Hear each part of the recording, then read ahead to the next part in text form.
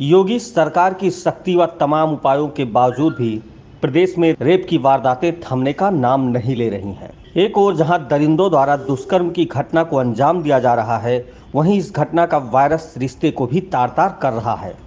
ताज़ा मामला गोंडा ज़िले का है, जहाँ चचेरे भाई ने छह वर्षीय मासूम बहन के साथ रेप कर हैवानियत की हदें पार कर दी और रिश्ते को शर्मसार कर दिया है। रिश्ते को तार तार करता यह मामला कटरा बाज़ार थाना क्षेत्र का है। जहाँ छह वर्षीय मासूम के साथ युवक ने रेप की घटना को अंजाम दिया। पीड़िता की माँ का आरोप है कि घर के बाहर लगे नल से पानी लेने गई मासूम को 21 वर्षीय चचेरा भाई पंकज यादव ने मुँह में कपड़े लगाकर खेत में उठा ले गया और उसके साथ दुष्कर्म की वारदात को अंजाम दिया। बच्ची खून से लथपथ होकर जब घर पहुँची तो घर वाले बच्ची को देखकर हैरान रह गए।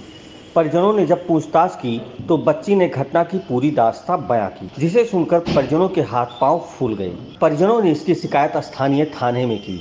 मामले की गंभीरता को देखते हुए पुलिस ने आरोपी पंकज यादव के विरुद्ध धारा 376 व पास्को एक्ट के तहत मुकदमा दर्ज कर उसे गिरफ़्तार कर लिया है। वहीं मासूम को मेडिकल परीक्षण के लिए जिला महिला अस्पताल भेज दिया गया। चचेरे भाई द्वारा छह वर्षीय मासूम बहन के साथ रेप की घिनौनी वारदात से स्थानीय लोगों में आक्रोश भर गया है।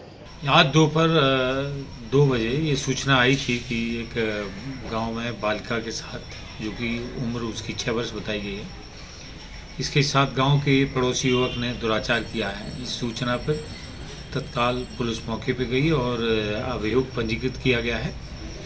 पीड़िता एवं अभियुक्त का मेडिकल परीक्षण कराया जा रहा है और शीघ्र इसमें आरोप पत्र प्रेषित किया जाएगा।